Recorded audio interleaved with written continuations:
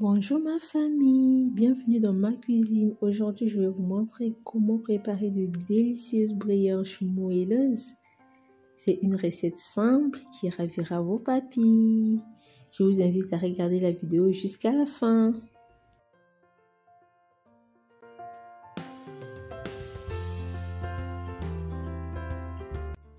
Pour ma recette, je viens verser dans ce saladier 300 ml de lait tiède Ensuite, je mets deux sachets de levure boulangère et je mets également le sucre en poudre. Je n'oublie pas de mettre deux œufs, je mélange bien.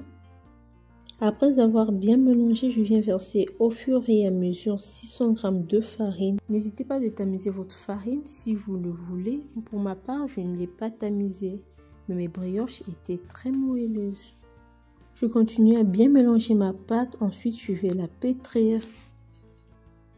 Vous voyez que ma pâte est élastique, pas trop ferme, c'est en fait exprès. C'est le secret pour obtenir des brioches moelleuses. Je viens ensuite verser un peu d'huile sur euh, mon plan de travail et euh, je dépose euh, ma pâte. Ensuite, je me mets à pétrir. Chers amis, si vous suivez ma vidéo jusqu'à ce niveau, cela signifie qu'elle vous plaît. Alors, je vous invite à aimer la vidéo, à me laisser un commentaire. Dites-moi depuis quel pays me suivez-vous? Si vous n'êtes pas encore abonné à ma chaîne, je vous invite également à vous abonner, activer la cloche de notification pour ne rien manquer de tout ce que je publie. Aussi, partage cette vidéo à ton entourage car si elle t'a plu, elle peut également plaire à ceux qui t'entourent. Après avoir bien pétri ma pâte, je la remets dans ce saladier. Je la couvre du film plastique. Ensuite, je laisse reposer. Pour cette recette, j'avais laissé reposer pendant plus d'une heure parce que je faisais autre chose à côté. Je vous recommande de laisser reposer maximum 30 minutes pour éviter que la pâte déborde. Je dégaze ma pâte, ensuite je vais la pétrir encore quelques minutes et enfin je vais la façonner en petites boules. Chers amis, j'aimerais vous rappeler que j'ai prévu de faire un tout premier concours sur ma chaîne quand nous serons 5000 abonnés.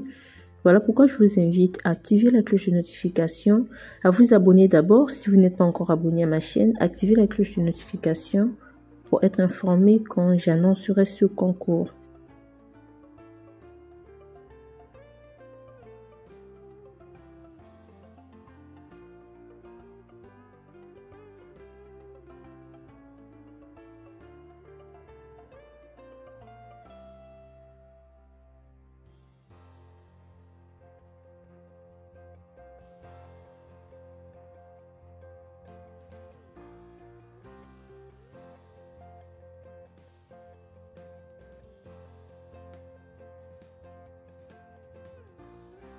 Après avoir façonné ma pâte, je la couvre d'un torchon et je laisse reposer 10 minutes.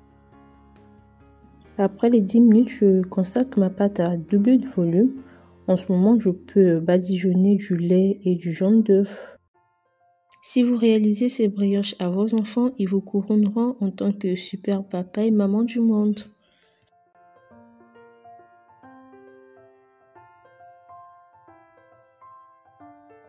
Après avoir bien badigeonné mes brioches, je les enfourne à 180 degrés Celsius et je les laisse cuire pendant 30 minutes. Je vous recommande de surveiller au fur et à mesure la cuisson de votre côté car euh, tous les fours ne fonctionnent pas de la même manière. 30 minutes après, je viens retirer mes brioches du four. Ouh, chers amis, regardez comment elles sont délicieuses. Rien qu'à voir. Hein.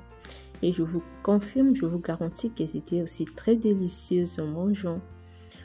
Là, je viens un peu badigeonner du miel. Ceci est facultatif. Regardez les amis, regardez comment elles sont moelleuses. Très moelleuses et filantes. Ouf. Mais non, dites-moi ce que vous en pensez. Dites-moi ce que vous en pensez. Si vous ne me dites rien en commentaire, je ne sais comment vous décrire. Franchement, je suis trop convaincue de cette recette. Elle a réussi. Alors, je t'invite à partager à ton entourage. Si peut-être tu vis en Afrique, tu veux en faire euh, pour euh, vendre, n'hésite pas. C'est très bon, c'est très bon, c'est très bon. Au cas où vous voulez refaire ma recette dans son intégralité, j'aimerais préciser que je n'ai pas mis assez de sucre parce que je ne voulais pas qu'elle soit trop sucrée. Donc, mettez la quantité de sucre que vous consommez. Chers amis, n'hésitez pas à refaire cette recette et à me donner votre avis en commentaire. Si vous avez suivi ma vidéo jusqu'à ce niveau, je vous invite à me laisser un cœur rouge et je vous dis à bientôt pour une prochaine vidéo. Bye bye